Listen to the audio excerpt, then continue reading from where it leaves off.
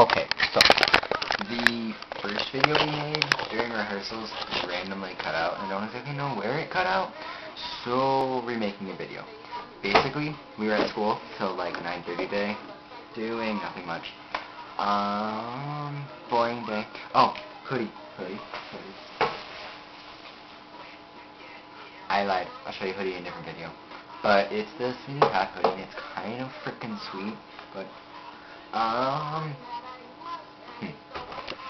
You better make a video, because we have two for today, so I'm expecting something back.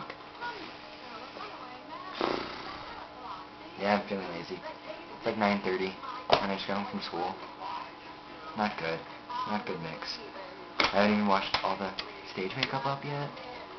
So, you're probably at work, being lame. I'm expecting a video of you and Kay doing something totally random, not exciting, like you promised.